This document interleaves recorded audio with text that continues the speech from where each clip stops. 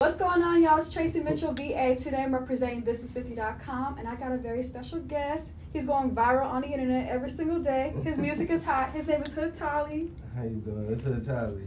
I said it right? yeah. How you feeling today? I'm good. Good. I'm good. Yeah, I'm good. Thank you for having me on the show. No problem. Like, so where are you at in life right now? Like, you're the talk of the town. you know, Philly's next hottest upcoming artist. Like, how you feeling? I feel good. I'm chilling. I've been chilling lately. You feel me? Just chilling. I really ain't been doing too much. Chilling, working, making sure my family cool. Other than that, I'm chilling. When did you move over here? I probably moved to Atlanta like, um, when is that? Like October, November 2020. And how have you been liking the transition so far? Uh, I don't really like Atlanta. Like living out of Atlanta. I ain't gonna say that I don't like Atlanta, but I ain't. I didn't really like living out of Atlanta because it was like it's it's slow. It's slower. It's slower. Philly? It's like I, the stuff that the stuff that it is to do in Atlanta. I'm not that type of person. Like, I don't Okay, like. yeah. All we got is like party. hookah You bar. know what I'm saying? you're like, So it's like it You're not a bar kind of is. You get what I'm saying? Because I'm more so in the house and stuff when I'm out there. mhm. So that's what I mean by like slow, but like it it it, it was it's it's good for the peace of mind and the thinking and stuff like that. So yeah. I heard you be like enjoying the studio life though. mhm. Like, it's definitely a big difference. yeah, yeah, the difference is a is a real big difference between studio Mhm. and Philly.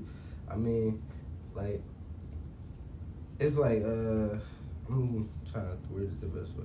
They like more like on it out here. You get what I'm saying? Mm-hmm. Like, they take a Take it more seriously. You feel me? yeah, hell yeah. They, everybody wants to be the best out here. Mhm. Everybody's a rapper for sure. What do you miss about Philly right now? But no, I miss the food. Uh, I miss my friends. That's it, really. Just the food and my friends and my my family and stuff. Would you say you go back a lot? Uh, yeah, I, I I go back. I go back every couple months. Okay, dope. Well, right now your latest drop is two forties and a nine. Yeah. Music is going high on YouTube, viral everything. I saw you shot it in Chicago. Why was that? You said you said why did I shoot in Chicago? Yeah. Cause I just wanted to show them that I'm moving around. You get what I'm saying? And just show like the lifestyle aspect of it too. Like we in Chicago, black truck, just riding around, track car. I would say that you're like the biggest, newest act coming out of Philly. How does that feel to know that you, you know, you got such a bright future ahead of you? Uh, it feel good. It feel good. It feel real good. Cause this not something that I was like. Alright. I heard you You were know what I'm bored one day. You just woke up was like, I'm gonna be a rapper. Yeah, that's kind of really how I went. I just was like, it was like er- it was a lot of people rapping in Philly at the time, and they was like, you feel me, really, really getting attention. So I was just like, all right, I'm about to just see if you get what I'm saying, Mhm. and then it really kind of chose me. Why do you think they chose you? If you gotta talk your shit for a second. I don't want to talk no shit. yeah, no. Look, like everybody already knew who I was in Philly, like for a long time. You get what I'm saying? Like it wasn't just like I just came out of nowhere and and and then he rap and all that, and then a bunch of stuff. Like everybody already knew who I was. It's just I wasn't like a real Instagram type person. I wasn't. You were never Inst- into the social media Yeah, shit. I just was getting dressed and stuff like that, but I never really used to be on Instagram. Okay, you were known as the dresser. Okay, but before the music, like, what would you say your family life was like? Like, what kind of kid were you growing up in Philly? I was bad. I was bad. It was like typical kid though. When it was like going with whatever wave it was. When it was the dancing wave, I was dancing. You were dancing at one point. Yeah, but I wasn't oh, like so Chris Brown type shit. no, no. Like I wasn't dancing like like.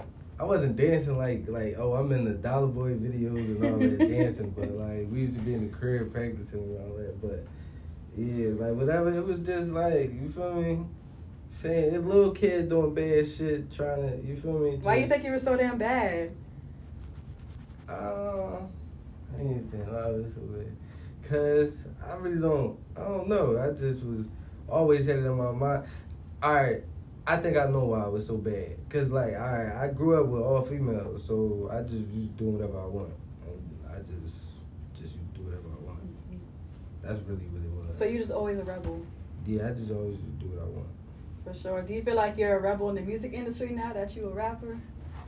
Um, I don't feel. I wouldn't say I'm a rebel in the music industry because it's not like I don't fuck with the people and people don't fuck with me. Everybody I come across, they we like you get what I'm saying. But it just it might be a certain it might be a certain crowd of people that don't like me and all that. But I don't feel like I'm a rebel because I'm not I'm not hard to get along with none of that. So since you started coming up in the industry, like has people changed around you?